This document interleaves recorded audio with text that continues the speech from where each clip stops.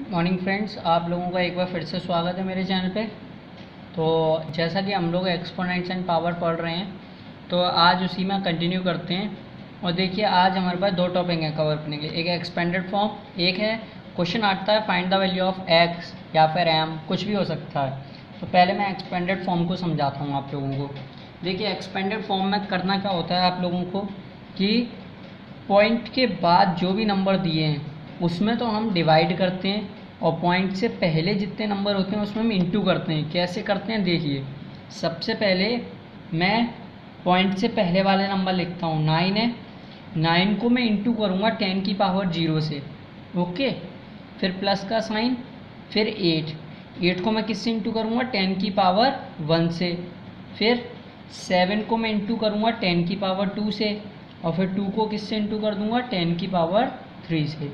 ठीक है फ्रेंड्स और इस तरफ़ पॉइंट के इस तरफ़ मैं क्या करता हूँ? डिवाइड तो फोर को मैं किससे डिवाइड करूँगा? टेन की पावर वन से। फाइव को किससे डिवाइड करूँगा? टेन की पावर टू से। और थ्री को किससे डिवाइड करूँगा? टेन की पावर थ्री से। ये फ्रेंड मेरा आंसर है। ओके समझ में आया आपको? अब इसको देखते हैं। ये थोड़ा अलग केस है। देखिए फ्रेंड्स सेवन है सेवन तो मुझे पता है कि पॉइंट के बाद पहला ही नंबर है तो इसको तो मैं टेन की पावर ज़ीरो से इंटू कर दूँगा।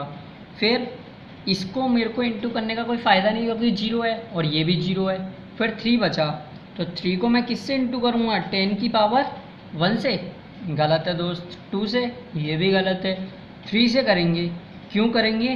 क्योंकि देखिए टेन की पावर ज़ीरो ये था टेन की पावर वन इधर गया टेन की पावर टू इधर गया। तो बचा क्या? टेन की पावर थ्री वो इधर आ गया।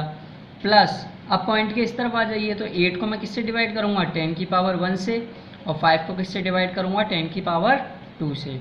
तो फ्रेंड ये है आपका आंसर अब हम आते हैं अगले टाइप पे, जिसमें हमें फाइंड द वैल्यू ऑफ़ निकालना पड़ता है।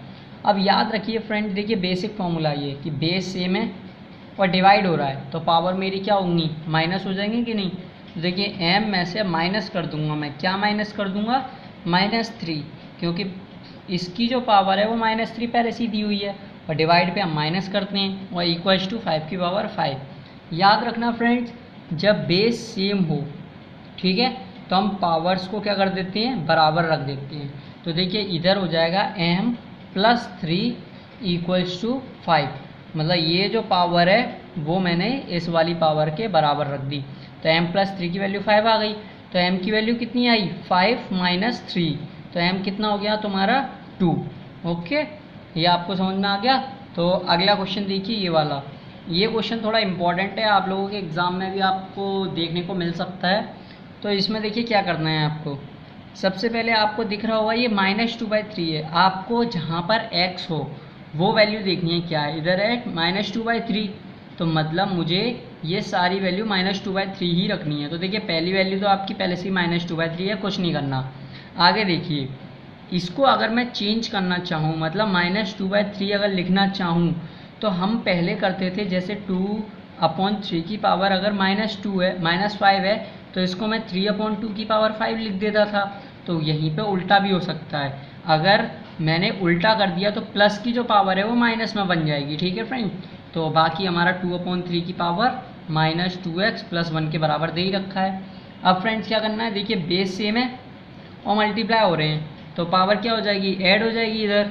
तो मैंने ऐड कर दिया minus thirteen plus minus eight equals two minus two by three की power minus two x plus one अब आपको पता है बेस सेम हो गए हैं दोनों तरफ़। अब मैं पावर्स को क्या कर दूँगा? इक्वेट तो इधर आंसर आ जाएगा minus thirteen minus eight equals two minus two x plus one अब ये प्लस वन उधर जाके माइनस वन हो जाएगा।